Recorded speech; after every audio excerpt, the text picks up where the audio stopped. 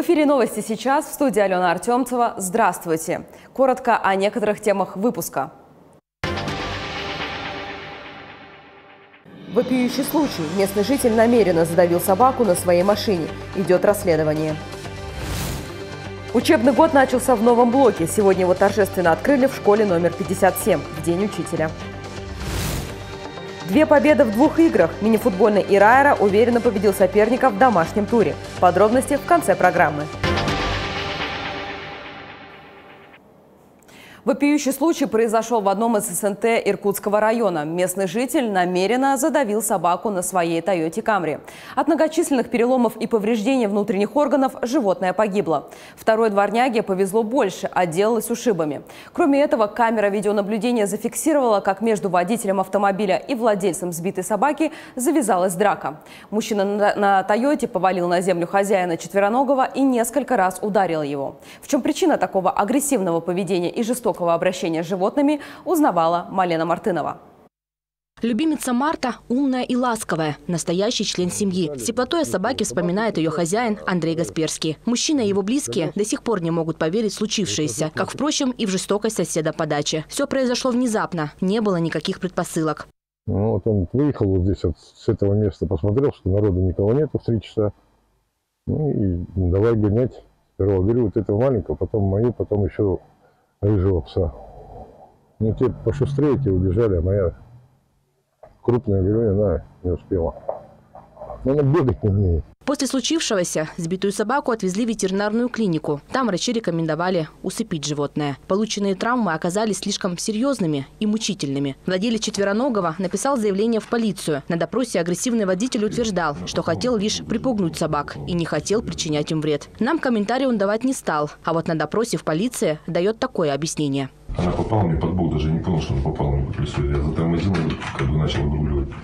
Ну, конечно, я сожалею об этом что получилось. У меня был умысел такой разогнать их, там, давить не было. Хотя очевидцы случившегося, комментируя произошедшее, говорят, что предполагаемый виновник действовал намеренно. Он не остановился перед лежащими животными. Более того, погнался вначале за одной собакой темного окраса, но та вовремя убежала. А старенькая Марта не успела. По словам водителя «Тойоты», местные четвероногие напугали его четырехлетнего сына. Жители СНТ «Зеленая» говорят, что никогда не замечали агрессивного поведения хвостатых, а тем более у погибшей Марты. Вот эта собака вообще под замес попала непонятно вообще случайно.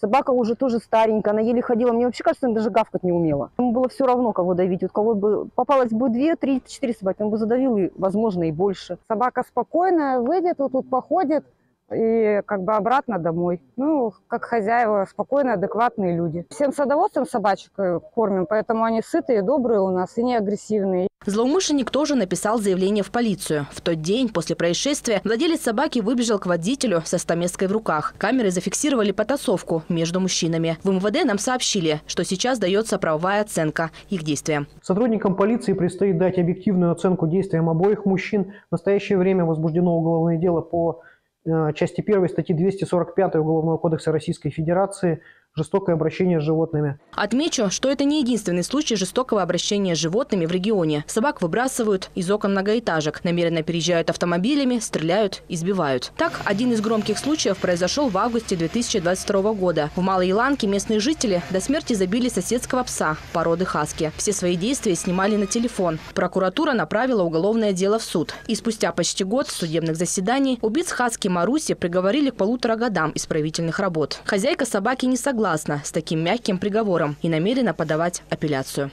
Малена Мартынова, Олег Шмонин. Новости сейчас. Одни убивают, а другие спасают, находясь в опасности. Когда возвращение с командировки из зоны СВО, как сюжет для романтическо-героического фильма. Сотрудник ОМОН «Удар», приехав, привез на малую родину щенка, спасенного на территории проведения боевых действий. Ее нашли под завалами зданий. Пройти мимо беды животного у ОМОНовцев не получилось. Росгвардейцы назвали собаку Ленка и даже заметили в ней потенциал к служебно-боевым действиям. Лежала маленькая, худенькая, сердце наше сыграло свою роль. Собрали к себе, вот вырастили ее, откормили, отмыли, домой приехала к нам. Теперь Сибири буду жить. Можно ли пострадать от мошенников, играя в компьютерные игры? Пытаясь заработать с помощью прокачанного аккаунта, многие действительно могут потерять деньги. Мошенники с помощью рассылки якобы приглашают на кибертурнир, просят зарегистрироваться с помощью телефона и ввести данные из полученного СМС. Но принять участие в турнире не получится. Мошенники меняют адрес в кабинете и тут же начинают требовать выкуп, присылая для оплаты ссылку на подозрительный сайт. Эксперты советуют не поддаваться на шантаж, а связаться с тех техподдержкой платформы и сообщить о взломе профиля. Чтобы избежать подобных ситуаций, необходимо соблюдать несколько правил. Например, игнорировать ссылки, которые вы получаете в письмах, ни в коем случае не скачивать программы из сомнительных источников и установить антивирусы. Ну и самое главное, к любым предложениям неожиданного заработка в сети, если требуются ваши данные, необходимо относиться критически.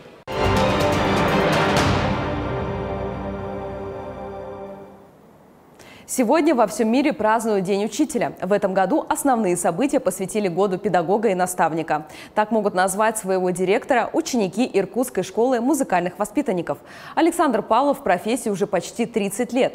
Непростую административную работу он совмещает с уроками математики. Как ему это удается, знает Александр Гаврилов. Красиво? А потом 100 умножить на 37? 3700. А теперь я хочу, чтобы у меня в тетради записали такое же свойство, но только в своих числах. Придумайте, пожалуйста, что-нибудь, а, какой-то пример, который будет отражать, для чего нужно это свойство сочетать.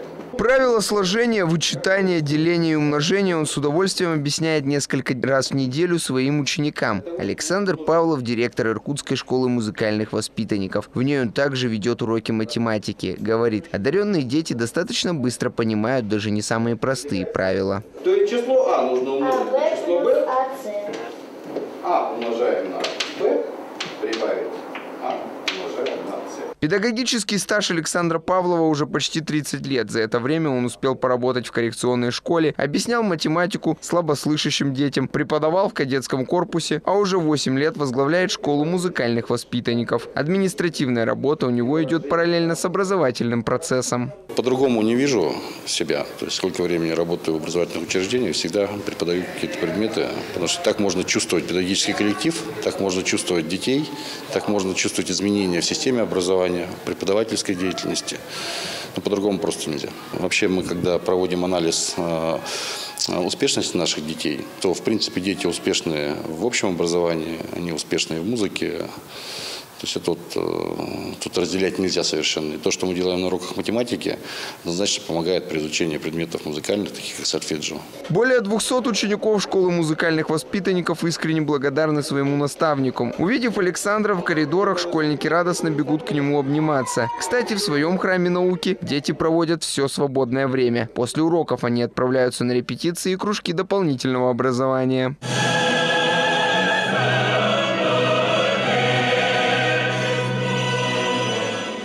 России начинается каждая учебная неделя во всех школах страны. А сегодня главные куплеты государства педагоги исполнили по приятному поводу. Александр Павлов и еще 40 учителей в честь профессионального праздника получили почетные грамоты и благодарности губернатора Иркутской области. Награждение – часть большой учительской недели, одного из главных событий года педагога и наставника. Год педагога-наставника дал возможность по-новому взглянуть на современного учителя те возможности, которые сегодня открывает национальный проект образования для представителей именно педагогического сообщества, говорит о том, что нужно есть все возможности для дальнейшего развития профессионального роста. В нашем регионе профессиональное педагогическое сообщество насчитывает более 50 тысяч работников. Более 24 тысяч из них трудятся в школах. Они хотят следовать главному правилу. Учитель не тот, кто учит, а тот, у кого учится. Александр Гаврилов, Константин Синицын. Новости сейчас.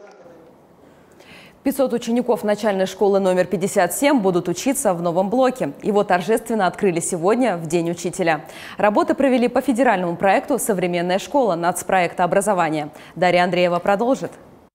В средней школе 57 обучается около двух с половиной тысяч детей. Более 900 из них – это ученики начальной школы. Потребность в расширении площадей была высокой. Мы два года ждали этого события, и оно произошло. И сегодня в этот праздничный наш профессиональный праздник, праздничный день, мы открываем школу, новую школу, здание начальной школы. И нам сделали уникальный подарок – И не каждая школа может такой подарок получить. Мы его получили. Поэтому я искренне всех благодарю, кто сегодня присутствует на этом празднике, кто обеспечил нам возможность зайти в это здание.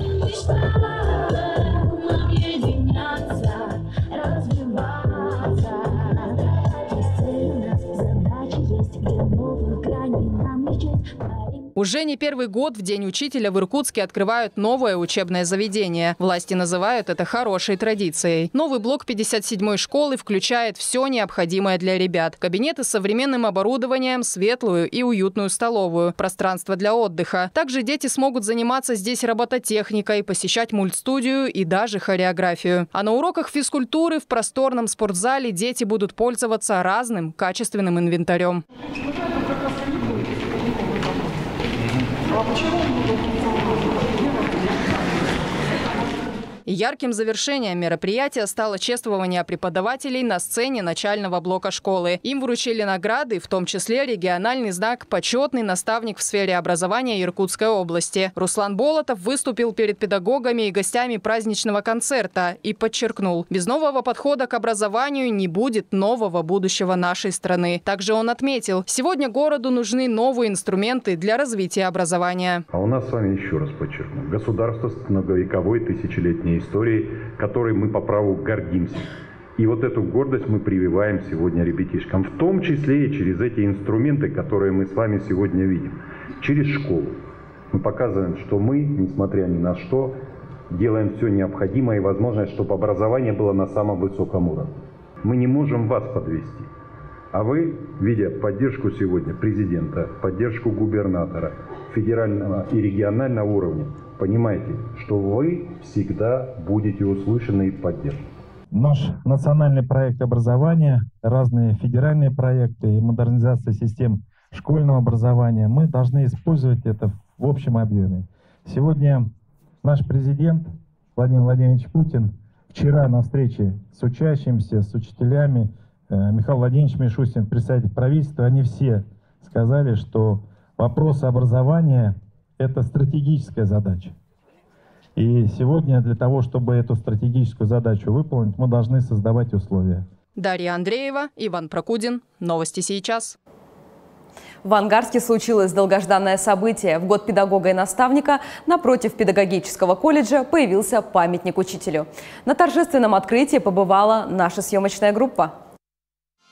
Идея установить скульптурную композицию в знак всеобщего уважения и признательности возникла еще три года назад. И вот в год педагога и наставника ее удалось воплотить. Памятник посвятили труду учителей, воспитателей, наставников, преподавателей, тренеров. Инициатор – почетный гражданин, директор гимназии номер один Людмила Владимировна Раевская. Ее идею поддержал мэр Ангарского городского округа Сергей Петров.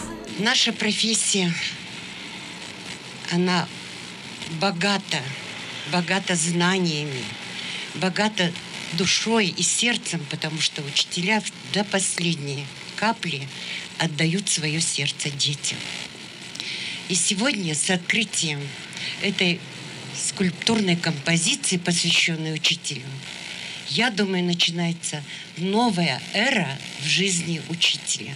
Как будет выглядеть памятник учителю, выбирали всем городом. Голосование провели в 112 образовательных учреждениях Ангарского округа. Эскиз скульптуры нарисовал Евгений Ставский. Воплотить идею удалось благодаря пожертвованиям. Участвовать в сборе средств мог каждый желающий.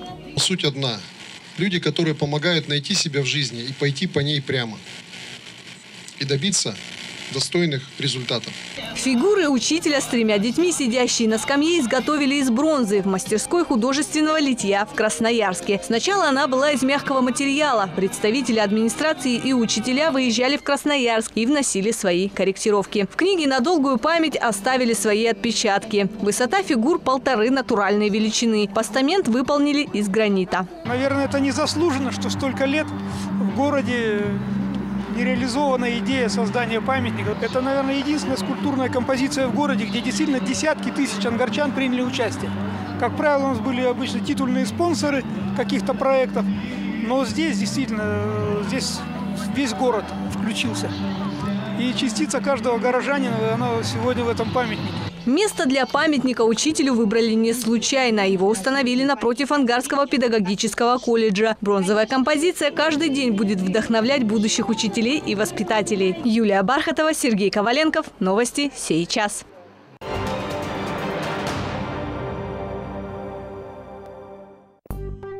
Не можете обойтись без сладкого? Проверьте щитовидку и глюкозу за 290 рублей по программе «Страна Гемотест». Подробности на гемотест.ру.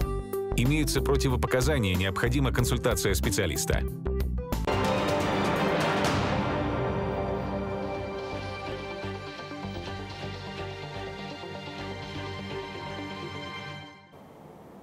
Вторую победу подряд одержали игроки мини-футбольного Ирайра. В центральном матче домашнего тура летчики оказались сильнее Кемеровска-Кузбасс. Э, гости активно начали, но сразу несколько опасных ударов по своим воротам отбил голкипер иркутянин Георгий Пашин. После чего подопечные Сергея Малышева взяли инициативу, что обернулось успехом. Лидер атак Ирайра а Роман Адамов открыл счет ударом с носка. Во втором тайме иркутяне ошибались в защите, но футболистов Кузбасса подводила реализация. А вот Роман Адамов, наоборот, был в ударе. Игрок оформил дубль. Правда, победить сухую и Райра не удалось. Незадолго до конца встречи гости сократили разрыв. Итог 2-1. Победа Ирайра секунды до конца матча. Кальчурин таки забил. Игра была напряженная, действительно готовились, так как э, последнюю игру на кубок, да и товарищескую мы обыграли Кузбасс. И, конечно же, ожидали, ожидали э, такой борьбы, такого накала, наверное, да. Э, игра шла до мяча, до мяча, да. Кто забивает, тот получает преимущество, большое причем. Но скажу так, что, наверное, все-таки мы много моментов не использовали, таких прям, где можно было хладнокровно разобраться в моментах. Вся самая актуальная и важная информация всегда доступна на нашем сайте astv.ru и, конечно, на страницах телеканала в социальных сетях. Подписывайтесь. К этому часу это были все новости. Я же с вами не прощаюсь. Увидимся в следующих выпусках.